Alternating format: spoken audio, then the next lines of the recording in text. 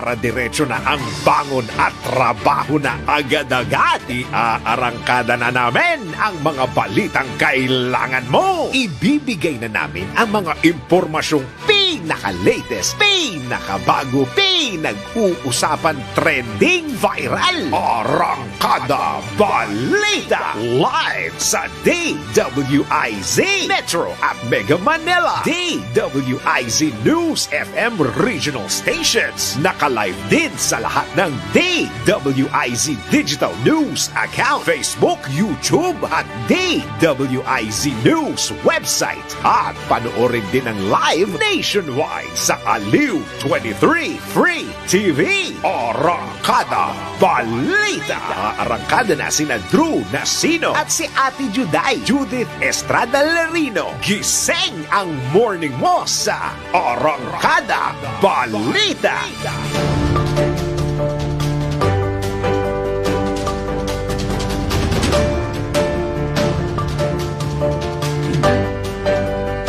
oras na limang sandali makalipas po ang alas 5 na ng uh, morning, silipin na po natin ang mga umaarangkadang ulo ng mga balita. Arangkada Balita.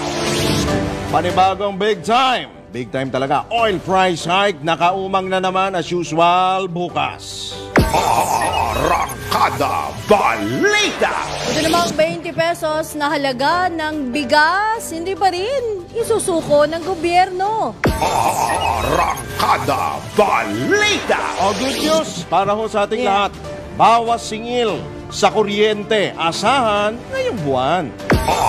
Arangkada Balita. Tanong nila dito ngayong buwan lang. Ngayong buwan lang. Pwede ba sa mga susunod na buwan? Samantala mga kaibigan, balita naman sa Ibayong Dagat, Russian government nagdeklara ng federal emergency dahil sa tumitinding pagbaha. Arangkada Balita. Dating ah, People's Champ o dating ah, boxing ah, champion at dating Senador Manny Pacquiao mas tututukan na ang MPBL kaysa politika. Arangkada Balita.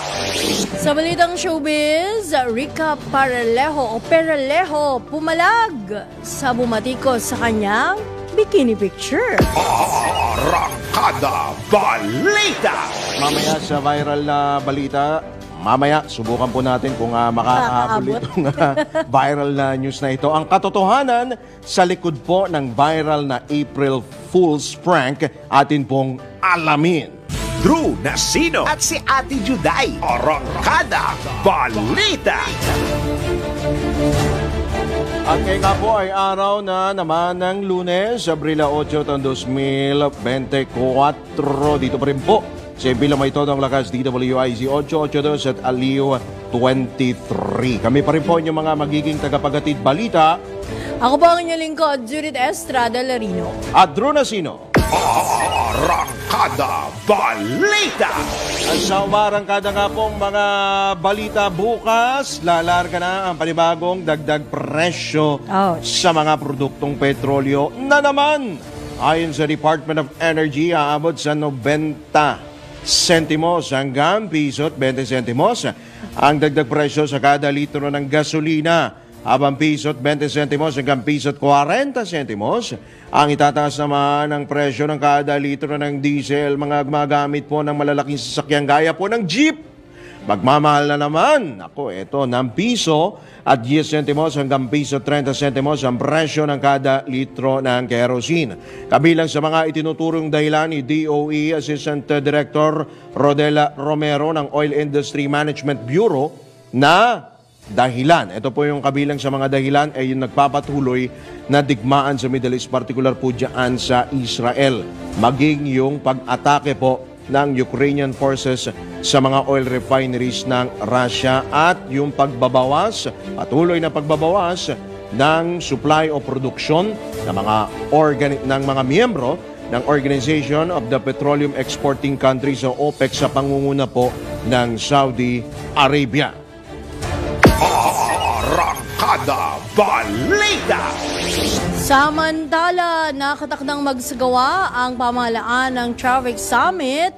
Yan po ay sa April 10. Uy, holiday Miyerkules, sa Miyerkules. Miyerkules, oo. Sa pamamagitan po ng ah, bagong Pilipinas Town Hall Meeting on Traffic Concerns, tatalakayin sa summit ang mga posibleng solusyon.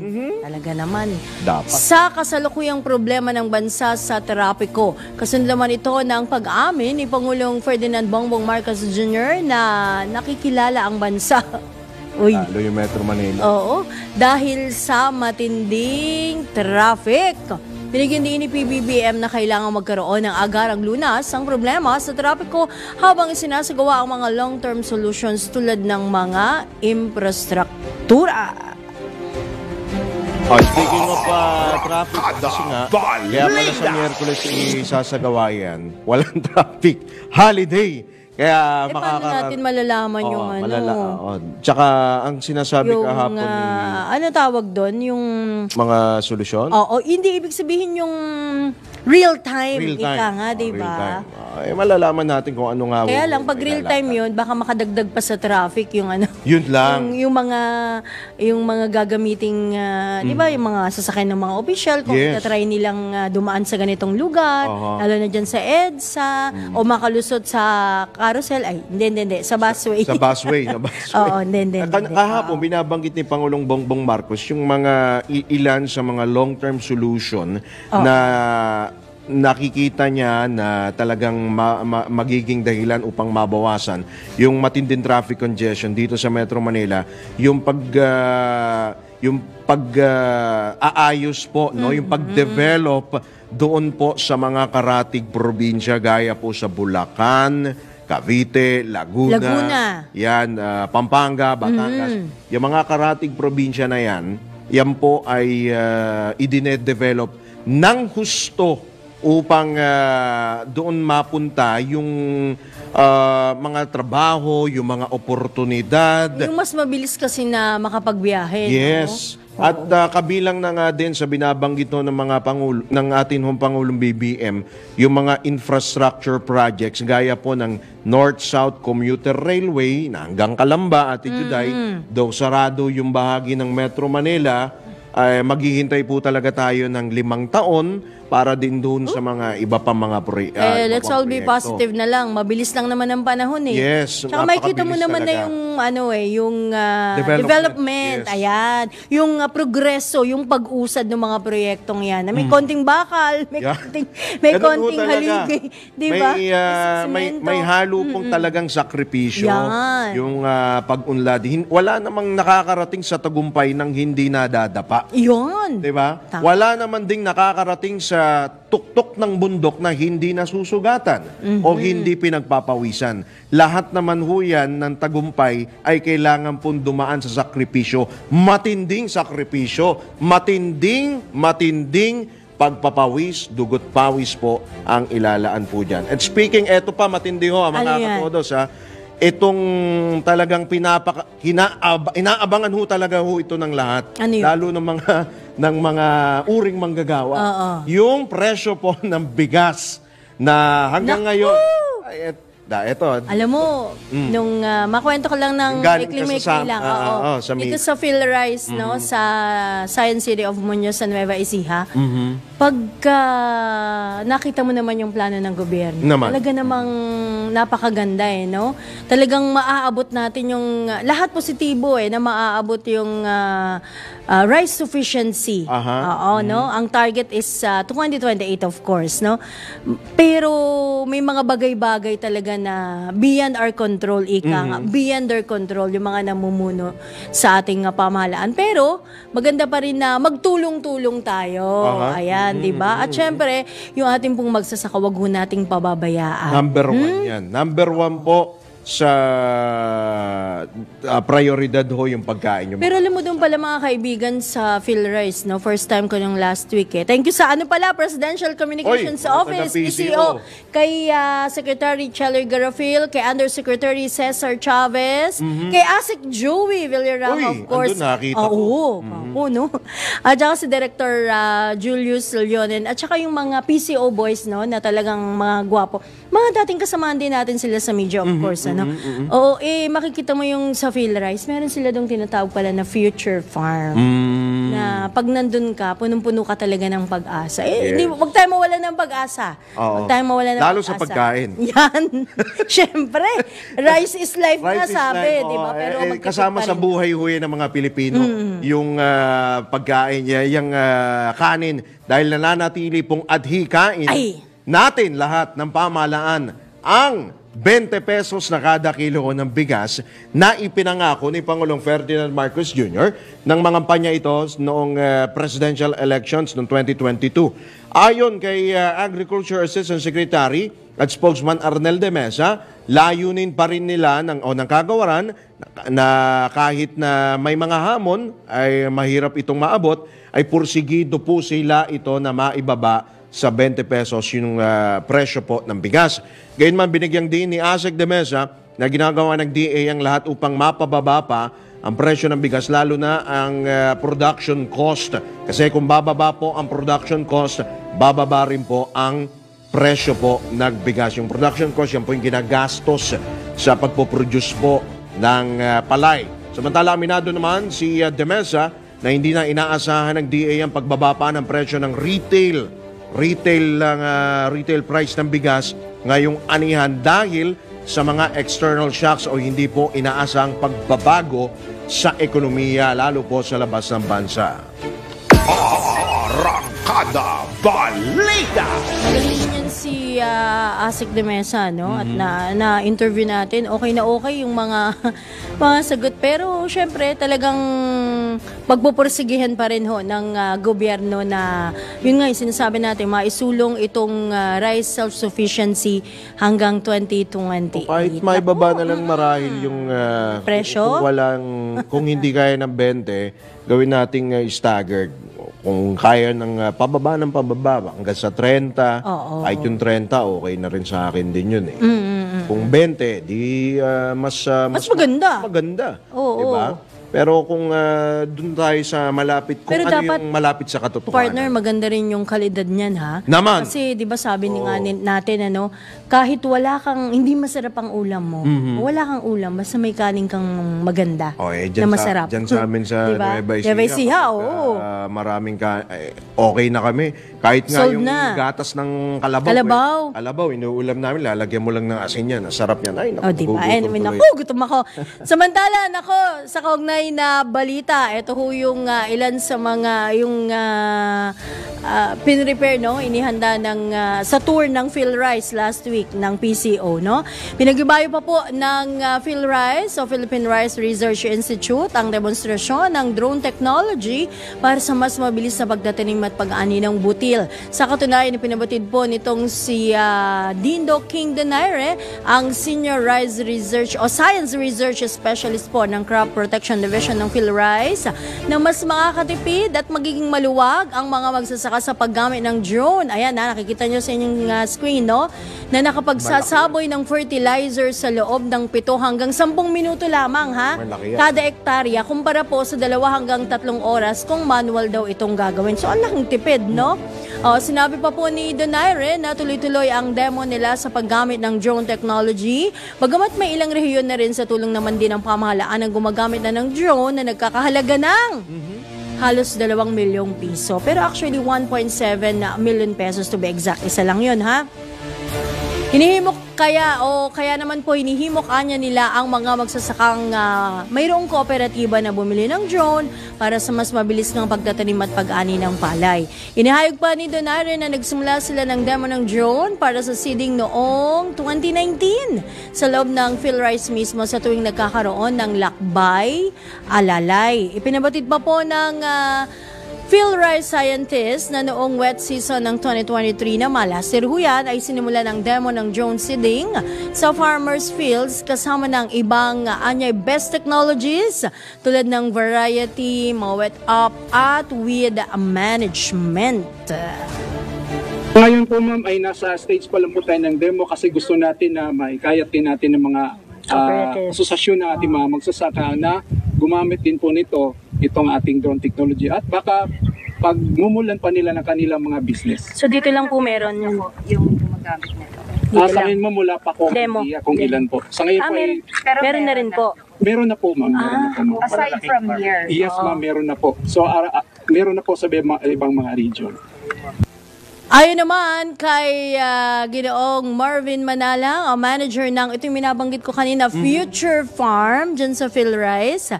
Sa loob lamang daw po ng isang araw ay matatapos ang proseso ng paggapas kung drone ang gamit.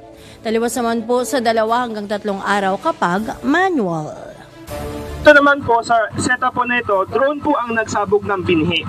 Yan. So para sa inbred na varieties based po sa mga uh, result po ng research po dito sa Philrice, ang nire-recommend po natin ay pwede pa tayong gumamit ng 40 kilos na binhi po para sa inbred na mga varieties kung gagamit po tayo ng drone. At kung gagamit naman po tayo ng hybrid varieties, yung sa kabila pong flat hybrid po yan, ang seeding rate lang po natin dyan ay 20 kilos per hectare. Yan. So isa kasi sa challenge kapag isasabog niyo yung konting binhi, yung 20 kilos per hectare, medyo mahirap yun gawin para sa farmers. Pero through the use of drone technology, yun, efficiently and effectively, na isasabog din siya doon sa field natin evenly.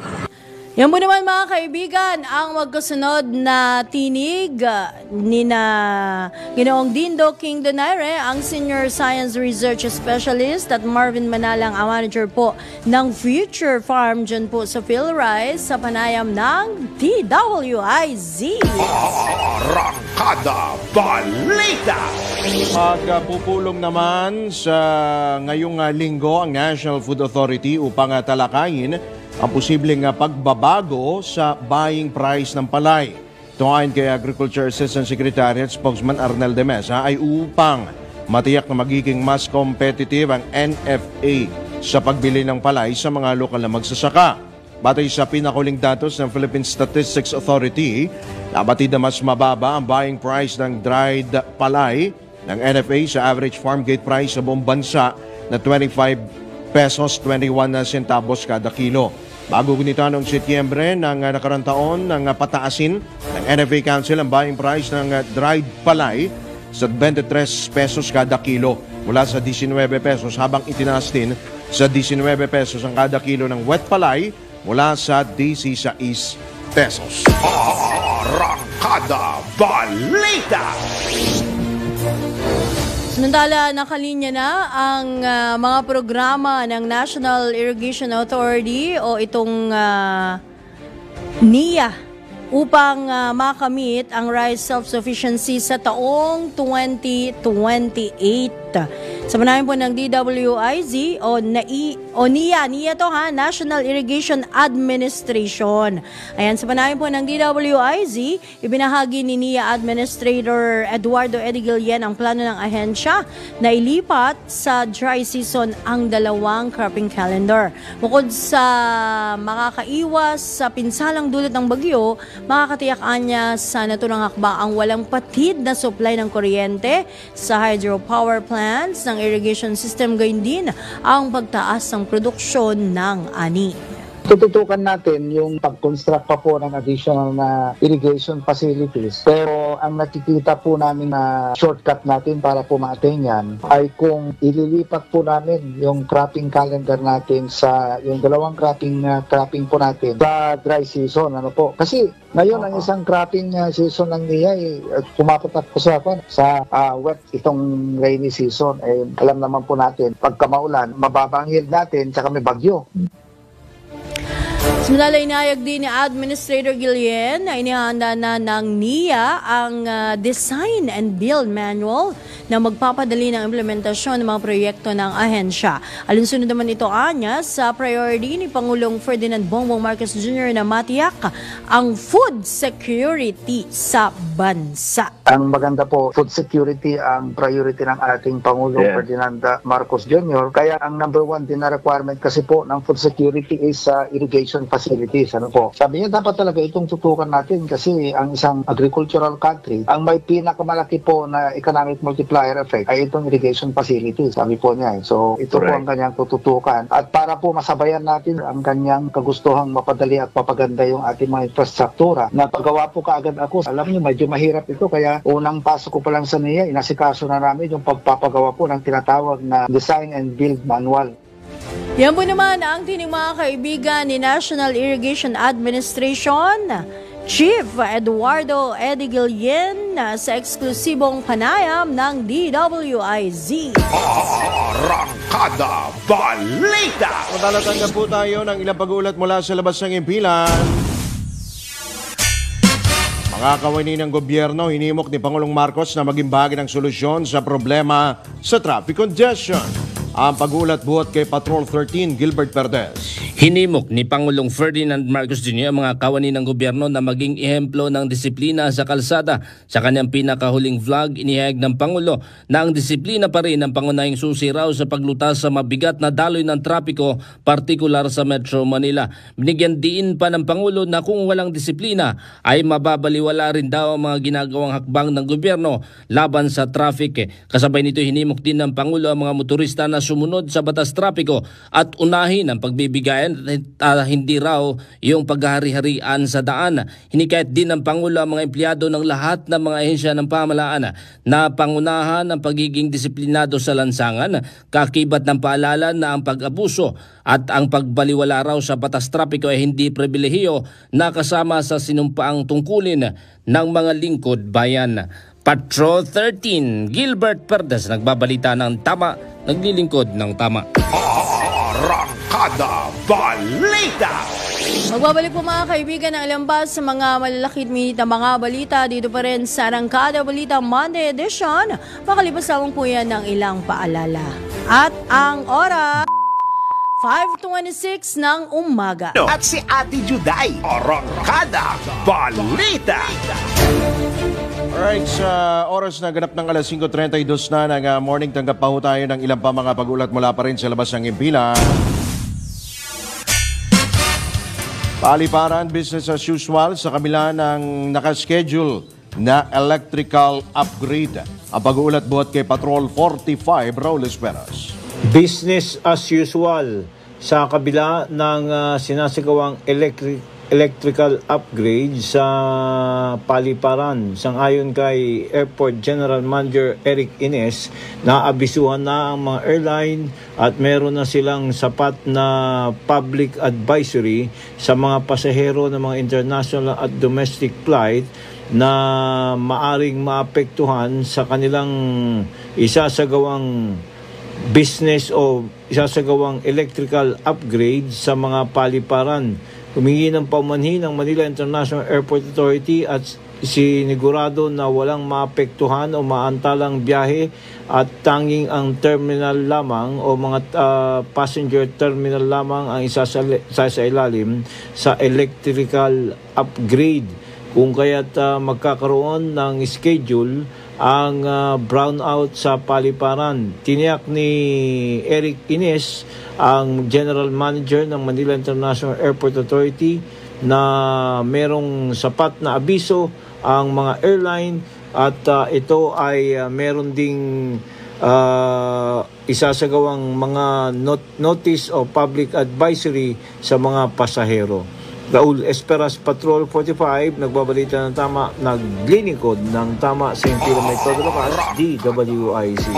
Arangkada Balita! Right, kalaya nga po na kanina binabanggit natin, pag-uusapan po natin yung uh, usual tuwing lunes, so pag ganito hong ora de peligro, pag mag-aala sa is, talagang uh, yung traffic, lalo dyan sa Ano may ba tawag dyan? Rush hour. rush hour ho ngayon, lalo po yung mga banda dyan sa may Makati, yung sa may uh, uh, Ortigas, Mga uh, business districts. business district, Yan. Maynila, of course, di ba? Hindi ho talaga nawawala sa pang-araw-araw po na buhay ng mga Pilipino, lalo po dito sa Metro Manila, yung pong traffic congestion. At naglalatag na nga rin po ng solusyon si uh, Pangulong Bongbong Marcos at meron pong isasagawa na traffic summit sa Miyerkules. Para po uh, humingi po tayo ng uh, ilang pong mga uh, payo, no, solusyon. Uh, nasa kabilang linya po natin ang uh, dati pong uh, masasabi natin uh, ano ito eh talagang ta- Expert yan. expert ho ito sa transportasyon. Yes. Dati po siyang uh, general manager po ng MMDA at dati rin pong DOTR under Secretary si uh, GM Tim Orbos nasa kabilang linya po natin. Magandang uh, umaga po muli uh, Sir Tim. Welcome po muli sa DWIC LU23. Drew Nasino po muli at uh, Judith Estrada Larino. Hi, good morning, uh, Drew and Judith. Um, maraming salamat sa inyong uh, pagbigay at uh, Opo. sa akin to to talk to you about these things. Maraming salamat po sa inyo at uh, good morning po sa Good ating morning, lahat. GM. Good morning din po, GM. Ah, siguro Opo. naman, hindi ho kayo natatra- natatraffic. Hindi, alam na ni GM yung Alam- gagawin niya pag natatraffic siya eh. Oo nga eh. Pero Expert nga yan eh, oh. uh, lumalaki po yung problema po natin sa Yes. traffic congestion, lalo po dito sa Metro Manila GM. Sakit Wednesday na po, merong uh, traffic summit ang uh, pangungunahan po ni Pangulong Bongbong Marcos at uh, meron na nga pong mga holistic approach na binabanggit ito pong si ating Pangulong uh, Bongbong Marcos para po masolusyonan ito pong traffic. Sa tingin ho ninyo, ano pa ho yung mga nakikita ninyo na mga loopholes, yung mga ah, dapat pang ah, patsihan o yung mga dapat pang ah, solusyonan ah, para ho ma- matuldukan o maibsan kahit paano yung nararanasan pong natin na masikip na daloy ng trapiko. Uh, Drew, ang, ang, ang tingin ko noon, uh, nakakagalak naman na ito ay isang national concern na, na mismo ang Pangulo ang tumitingin dito sa nangyayari. Kaya ho, yan pa lang ho, malaking bagay na kung bibigyan ng national government yung attention niya, lalo na ang presidente. Eh, alam po natin na may pupuntahan yan. Ah, tapos meron hong dalawang bagay na na tingin ko makakatulong ngayon ah, na wala po nung panahon ko. Isa po yung yung decision po na Supreme Court na binigay po sa MMDA yung otoridad talaga na para ay, ah, ayusin na yung yung mga traffic violations po no dito na siya yung may authority talaga ah, on traffic sa Metro Manila. Ang ibig Opo. po sabihin niyan, eh, magkakaroon po talaga ng iisa lang na kinatawan na mag-aayos ng trapiko. Dati ho, Traffic ah, czar. na- opo, yung da- dati, alam nyo, iba, iba ang patakaran sa Makati, iba ang patakaran Oh, sa. Pasig. Eh, hindi ino... ah, dati ho kasi, kung may lalabas po kami na panukala sa MMDA, hindi ibig sabihin po niya na susundan yan sa lahat ng mga syudad. Kailangan ipasa pa ho yan na resolusyon ng bawat ah, LGU. Ngayon hindi na ho. Si, me- si MMDA na lang ang magbibigay ng ano ng ah, direksyon para sa lahat. Malaking bagay po 'yon. Tapos po yung isa, yung ka- kasama ho dyan, yung tinatawag na single ticketing system na talagang iisa na lang talaga ang violation mo sa sa lahat. Hindi ho tulad ng dati na pwede kang mahuli dito sa Makati, tumawid ka lang sa Tagig, uhulihin ka na naman para sa same ano Magkakaiba kasi. ma- ma- di- malaking bagay po yan. Pero ano ako ako sa akin ang pinaka-importante talaga yung consciousness nating lahat na tayo ho bilang ah, nasa pribadong sektor at sila po na nasa ah, public sector. Tayo po lahat dito sa Metro Manila, ah, lahat po tayo ay may, may responsibilidad talaga sa trapiko. Hindi lang ho yung gobyerno. Kaya nga sabi ko lagi ho, yung trapiko, traffic mo eh. Kailangan ho pagtulungan natin. Mer meron nung nakita akong pinadala sa akin dahil may mga kaibigan pa rin ako na, na ano na kung anong tungkol problema sa traffic sa akin binibigay. Meron nung isang lugar doon sa bandang Maynila na kinandado niya na yung mga hinarang niya na yung mga yung nasa harapan niyang ah, sidewalk at sinarili niya. Yung mga ganun po ba? Ma- Maliliit na bagay pero pag pagsama-sama niyo po lahat yan, lalaki ho talaga yung problema natin. Oh. GM, maraming ganyan, ha? Lalong-lalo na, taga Maynila ho kasi ako, GM eh. so nakikita mo, Opo. alam mo po yung GM na ah, motor na lang yung dadaan. Parang hirap na hirap Ah, pang hirap makadaan. Kasi parehong side, hindi lang motor yung nakaparada, merong mga, sang gaganda pa nga Oo, ng ako. sasakyan, GM eh. Malalaking sasakyan, may kotse. Alam niyo yun, ano na, yung tricycle, lahat na yata eh nandun. Pati Magkabilang side. Nako, e-bike pa, dagdag. Oho. Pambihira. A- ano ho talaga eh, kailangan na hindi natin iasa lahat sa gobyerno, hindi natin, Hmm. Tama. kailangan may, tayo ho may responsibilidad na Yes. bawat isa. So, isa pa hong na, na, na, nakita ko na, na nabanggit din ho sa akin, Opo. bakit lahat tayo nasa Maynila? Hindi naman kailangan lahat nasa Metro Manila. Oo. Ah, Siyempre, Siksikan nandito po tayo. yung trabaho, nandito po yung oportunidad, Right. pero ma- mabigyan ko po kayo ng halimbawa. Nalaman po namin na siguro mahigit may ma, kunwari po yung opisina ng ano ng ah, ng isang isang government agency. Kunwari po ah, ah, kunwari ho COA or ah, DPWH.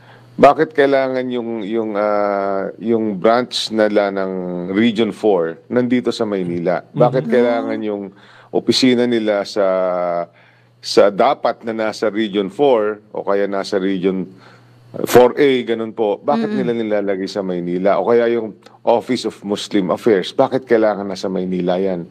Eh, Pwede naman ho nating ikalat yan sa ibang ano. Eh, pinag-uusapan po natin dito, ang dami rin. Aha. Sa, eh, ah, is- isa kong bagay yan eh. Kung may magsasakripisyo, sabi ko po kanina, dapat tayong lahat involved sa traffic pro- solution. Pero dapat po ang manguna talaga sa pagre-resolve ng traffic, eh ang, ang gobyerno. Yeah, isa pong pwedeng gawin nila, ah, flexi time. Yan. Ba't hindi sila mauna pumasok? Bakit kailangan sabay-sabay tayo? Yung mga ganun po. No? So, Uh, that that is what probably um, what the, the president is saying na holistic approach. Um, traffic cannot be resolved by infrastructure alone. Pagdadagdag ng train, pagdadagdag ng subway. Ganon din ho eh. Kahit modernization po ng jeep eh. Opo. Nagbago ka nga ng sasakyan, pero tigil naman kahit saan. So, at, uh, I guess, Yes. ano ho talaga, a holistic approach that should involve everyone. Opo. Yun. Disiplina siguro, Disiplina. maisingit ko lang, ano, Oo, ah, kailangan, oo. ah, GM, Ay, eh, nako no? po, tama po kayo.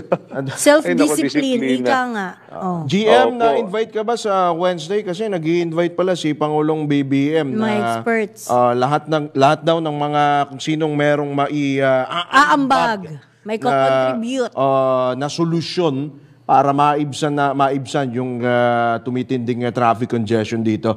Ah, wala bang mga ganong invitation sa iyo mula sa ah, government? Nagsabi naman po yung ating, um, actually, oh, um, itong mga taga-MMDA po, of course, uh, ano yan, eh, talagang uh, Naman. I still consider myself as part of the MMDA family. Yes. Nasabihan naman po ako nila at nakita ko rin po yung kanilang ginagawa. Maganda po yung kanilang ah, plano na iharap kay Presidente. Ah mukha hong um, sila ho makakapagbigay ng malaking tulong dito sa ating ano um, pro- problema na ito. But but ko ako ho kung kung maalala ho natin nung panahon ko na nandyan ako, eh grabe ho talaga. I, I mean, mas masama ho talaga nung araw. In, in fairness, madami na hong kabutihan. Yung nilipat na lang ho natin yung bus sa gitna. Alam ko mga iba ayaw nila yun, no? pero ang laking bagay ho niyan. Dahil dati ho, ang EDSA, ang, ang jeep po ng EDSA noon, bus, kahit saan tumitigil, kahit Totoo. saan Oo, nagta, bumubuntis. So, malaking bagay na po yun. So, ah, we're getting there. Um, siguro dahil lang ah, nakikita talaga natin. Dumami rin ho kasi ang kotse, sa totoo Yun lang. ba? Yes. Yun ba? Oo. Oo. GM, Private. apo, Yeah po. apo, ah, bukod sa EDSA, kasi naglagay tayo ng ah, EDSA busway, ah, sa ibang kalsada, ibang major thoroughfares, kailangan, sa tingin mo, kailangan din ba tayo magkalagay ng kahalintulad na sariling bus lane, just like ah, in EDSA? Ay, opo. Ah, yun pong ano, ah, dapat to may plano na ng gobyerno yan. Panahon ko pa ho, even Or- before opo, that. Yung, yung Quezon Avenue, Quezon Avenue, Espanya, kailangan po Com- ng... Commonwealth, Pero- yan. Halimbawa. Commonwealth. Pe- pero po siguro yung yung ano po yung Quezon Avenue Espanya rather than bus ang gawin na sa gitna mga jeep. Total jeep naman ho nandyan, igitna yung mga jeep. Para sila yung magkakaroon ng jeepney way. Ma- Mas instead of a busway. Igitna na ho yan. Kasi na, may plano na ho nung araw yan. Yung BRT. Dalawa yan, EDSA at saka Quezon Avenue from Quezon City Hall. So yung MRT 7 ho, titigil ho sa may bandang North Avenue, di ho ba? Pagdating po sa North doon po, Quezon City Hall up to Manila City Hall, lalagyan ho yan ng BRT. Tapos kung kung masunod din ho sana yung ano, pano, yung plano ng araw from ah, ah, Manila City Hall, dire-diretso naman ho sa PTEX na ganun na naman. No? Pero dito na ho kukunin sa Rojas Boulevard na doon ho sa gilid na malapad-lapad. So, Ed, ana- another place po is sa C5. Pwede rin ho lagyan yan ng, ah, sa gitna. At tingin ko po yung mga truck sa C5 na kung saan ngayon talaga eh, sila pa rin ang, ang nagbibigay ng na- dagdag sa traffic dyan. Hindi na ho nila kailangan na doon na bumaybay. Kaya lang naman ho natin ginawa nung araw yun dahil wala pa yung Skyway. Ngayon ho pwede na ho sila eh. Maaring hindi sa Skyway, pero sa Osmeña ho sila dumaan, pwede na rin ho yan. Um, isa pa akong kailangan lagyan ng improvement yung tinatawag na East-West Corridor magmula ho sa Rizal, papasok ho ng Metro Manila hanggang sa Manila Bay dahil makikita nyo po, mga truck din, madami dyan yung mga naghahakot ng buhangin, na simento dyan Ay, oo. nanggagaling. Mm, mm, mm. Nakakasabay natin yan na ka- Oo. araw-araw eh. Ah, yun po, ang, ang ano natin, traffic is a, is a function of time and space.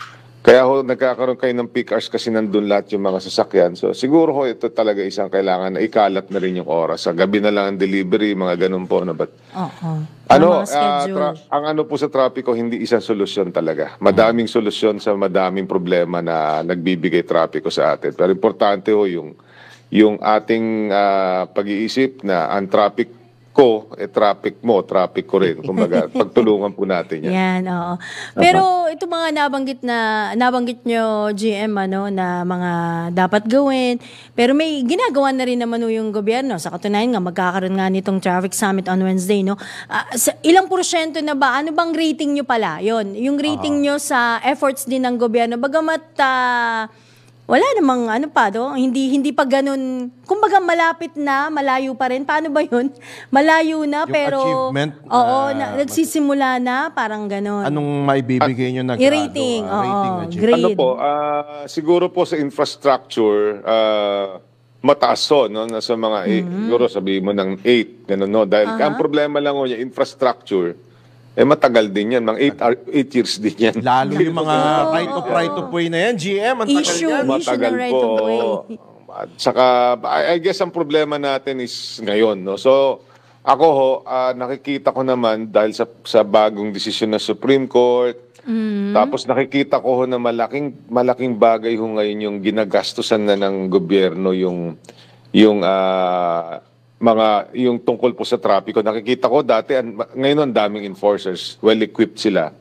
Nakikita ko ang daming CCTVs, ang daming traffic ah, traffic ah, lights na tinatayo. Um, Nakita ko rin ho na na talagang may, may gumagawa ho ng paraan ng gobyerno. Siguro, ah, I, I would think mataas naman ang rating ko sa kanila. I would even put it at 8. I think tayo ho yung hamon sa atin eh. We have to help government. Ah, in, ako po, I, I- hindi ho ako, I, I did not even ah, vote for this, this ah, for our president. But I think we should help out pagtulong-tulungan na ho talaga natin. Kasi wala naman ng politika sa traffic.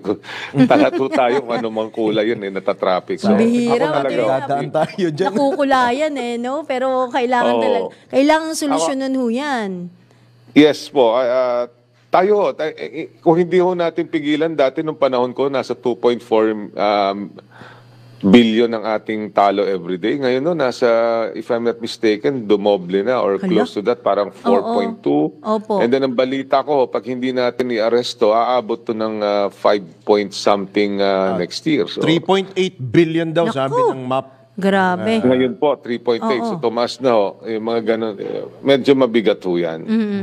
Ah, at least ho, yung conscious... ah, maalala nyo no, na, dati, grabe, away na. Nag-aaway na. Ang tingin no sa MMD, ang baba. Ang, da, ang ting, da- panahon, panahon, panahon, panahon ho namin, ang baba na tingin sa MMDA. Yung enforcer, minumura ng tao, ganun. So, well, sa totoo lang naman, no, yung mga enforcers nung araw, ibang-iba rin. Talagang may mga corrupt din talaga na hindi rin, at hindi ho nila alam yung kanilang ginagawa. Ah, at least ho ngayon, nakikita mo na ano sila, ah, alam nila, may, may ano, na build, anong tawag ko doon, nag-aaral ho sila ngayon, may meron na talagang competency exams. Ah, no, hindi na rin ho ganun kadami ang mga corrupt. Meron, pa- unang-una mas mahirap ho ngayon. Lahat ng tao may camera. Yes. Oo, konting kibot lang yan, wala eh, nakukunan GM eh. yan. Ah, Oo. konting So, kibot. yan, yan, that is a way of us, uh, the private sector, helping uh, Yes. our government, di ba? ourselves as well. So, Opo, naku, eh, baka ano, meron wag, pa- ang, ang ano, wag tayo mawalan ng pag-asa. Alam ho natin yung problema. Ah, malaking bagay na ho yun. Na nakikita Yes. natin na alam natin yung problema at may ginagawang gobyerno. Yun. Mm-mm. Baka meron pa ho kayo mga panawagan na GM, lalo ho sa mga, lahat, siyempre, sa mga motorista rin po natin na Mga pasaway GM, na iba. Para ho makapag-ambag sa solusyon. Yan. Kadamihan ho naman ho sa atin, eh, gusto lang naman natin eh, ah, umabot sa pinupuntahan natin. Yan naman ho eh, kaya tayo lang naglalakbay, galing sa bahay, pupuntang opisina, papuntang eskwelahan, papuntang simbahan. Eh gusto lang ho natin umabot doon. Kung tayo lahat to, ganun ang pag-iisip, na kailangan lang natin umabot sa pupuntahan natin, tingin ko malaking bagay. No? Ang isang problema ho natin yung nakakalimutan natin na yung ka- ka- kasama natin ganun din ang gusto. So nag-aaway-away ho tayo, yung kanya-kanya.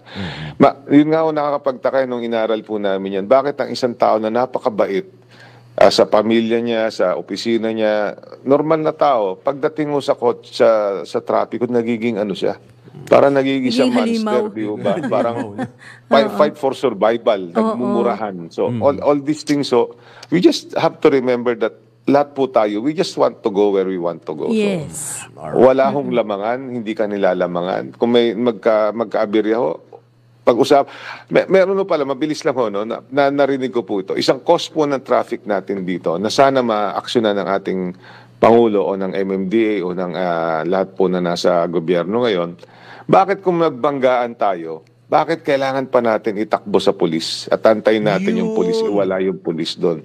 Yung mga, mga ganyan pong bagay-bagay, ah, there are things to adjust na madaling mawala eh.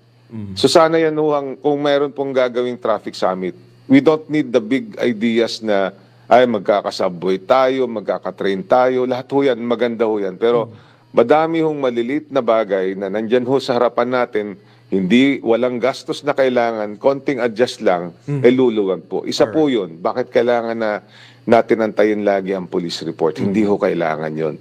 Pwede naman, kung talagang honesty system, picturean mo na lang, picturean na lang, pareho naman may insurance. Yan. Takbo kayo dun sa ano, kung may problema, di magkorte kayo. Pero wag ho kayo mag-away, wag ho kayo mag-antay doon sa kalye kasi ho yan, bawat minuto na naka, nakabaybay kayo dyan, dadagdag ho ng 10 times more. Ayun, up. mo, GM. Nak- well said. Maraming salamat, uh, GM, sa iyong oras sa mga susunod pang... Opo, ah, maraming episode. Aabalahin ka pa rin sa namin. kayo. parati sa akin. Ah, Salamat po. Ako yung nasa privado na pero natutuwa ako pagka natatawag po ako sa mga ganitong bagay-bagay. Mabuhay po kayo. Thank, Thank you po. GM. Thank you po, GM. Thank Maraming po. Salamat. Ingat po kayo at ah, ingat sa traffic. Yan po, si ah, dating MMDA ah, General Manager at DOTR Undersecretary Tomas Tim Orbos at siya rin po ay merong column sa Business Mirror. Magbabalik po tayo muli makalipas lamang ng mga paalala oras. 5.53. Dino at si Ate Juday. Arangkada Balita. Alright, kabulo natin ang isa pang nga pag-uulat buhat kay Patrol 13, Gilbert Perdes, kaugnay po sa traffic congestion. Go, Gilbert! Inamin ni Pangulong Ferdinand Marcos Jr. na nakikita niya raw ang kahalagahan ng pagdevelop sa mga kalapit na probinsya bilang susi raw sa paglutas sa matagal ng problema ng mabigat na daloy ng trapiko sa Metro Manila. Sa kanyang pinakahuling vlog, inihayag ng Pangulo na habang patuloy ang paggawa ng mga infrastruktura at iba pang solusyon sa transportasyon, patuloy din naman ang pagdamay ng populasyon at ang pagdami ng mga sakyan.